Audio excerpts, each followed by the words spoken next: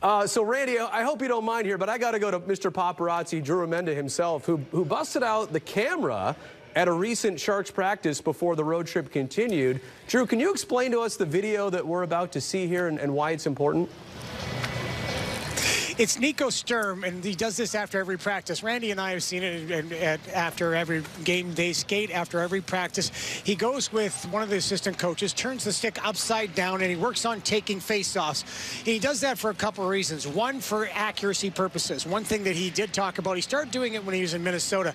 He started talking about the fact that referees don't drop the puck in the middle all the time. A lot of it depends on which side they're standing on. That's why you see him taking the face-offs from the coach who stands on both sides of the face-off dot. So you have to be really accurate.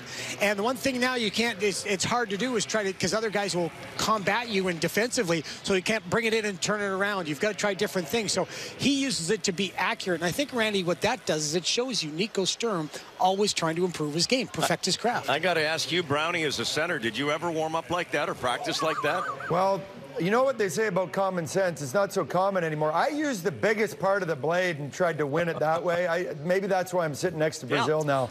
I, uh, I, didn't. I wasn't innovative enough. I don't know. I'm not sure he knew which side was the business you know, end it of occurred, this. It occurred to me when we saw it for the first time. Why would you practice something that never happens in a game? But my partner explained same, it well. Same reason we practice three on O's in a game. Yeah. I mean, or in practice. The, for, the thing for me that I look at is you, you're always trying different ways. Like what is really impressive about NHL athletes.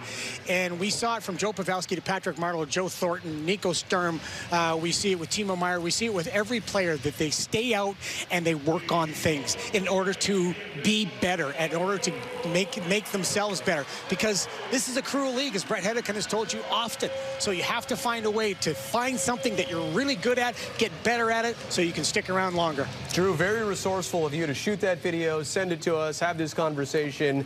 Randy, have a great call with your partner tonight.